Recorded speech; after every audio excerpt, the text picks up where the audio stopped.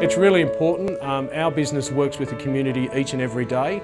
We have staff out in the field um, working with community and it's really important to get uh, that feedback from the coalface and from our local, our local people. Our strategic plan gives uh, that high level direction to how we can move forward and, and help producers from all areas of our, our business.